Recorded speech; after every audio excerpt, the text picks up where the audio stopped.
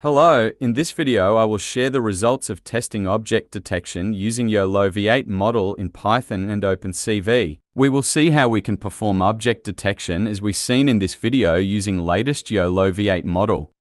In this Python application, I only use pre-trained models to detect common object classes such as cars, cups, people, cats, and dogs. Of course, we can train our own model to detect a particular type of object of our choosing, but we need to prepare the data for this process.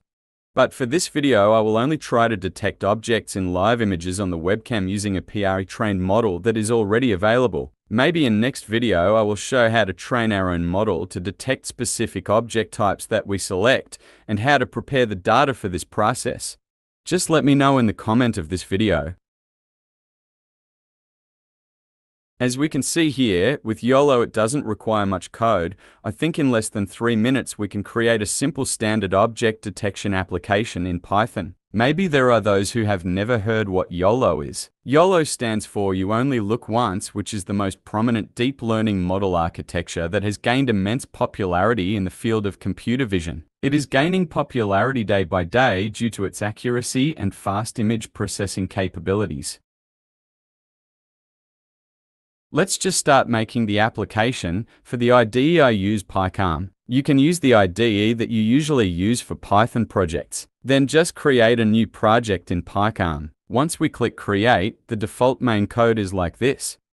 We can just delete or empty this default code. But let's try to run this first, just to try the PyCharm installation and Python works fine.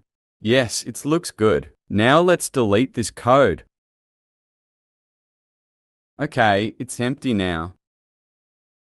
Next we have to add the Ultralytics package. The Ultralytics package has the YOLO class used to create neural network models that we need for this application. Just click on Python package here at bottom and then search for Ultralytics. Once you find it, then select it, we can see the details about Ultralytics, YOLO V8, models, usage examples, etc. And here is also information about models that we will use in our application later. You may go through all of it if needed. For now, we will continue with installing the Ultralytics package. Just click the Install Package button.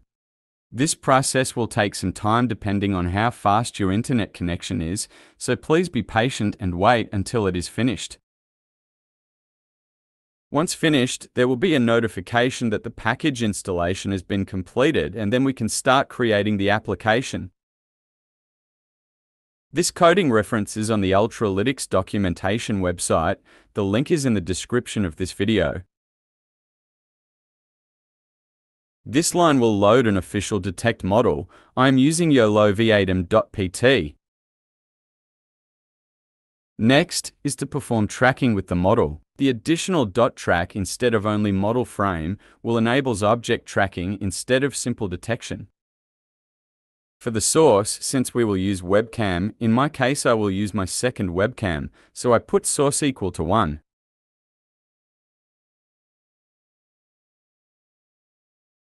Add two more arguments, show equal to true, and also tracker configuration using bytetrack.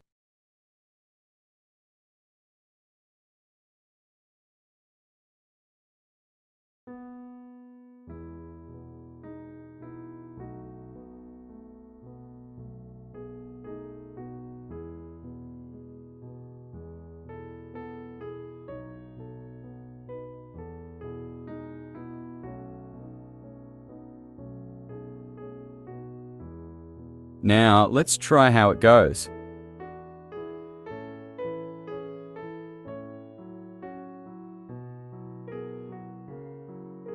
Okay, it's running now. Since the model is not available in the project folder, we can see it is automatically downloaded from Ultralytics GitHub.